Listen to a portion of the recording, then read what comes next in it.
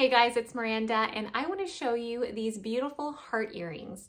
Uh, let me take it out so I can show you a little bit closer. These things are adorable. I love the pop of color that it comes with. Uh, the pink and it's like a highlighter pink. It's super, super cute.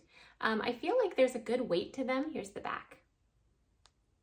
They feel really nice, um, not too heavy, especially since those are kind of larger hearts. It's not too heavy though. Let me put them on so you can see how they look. Okay, so here's how they look on.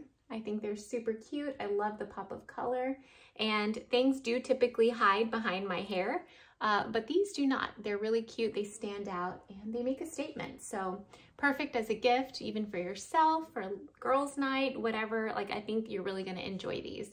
And again, like I feel them, but they're not too heavy. So I think you can wear them um, all day and you won't have any issues. So yeah, hope you enjoy.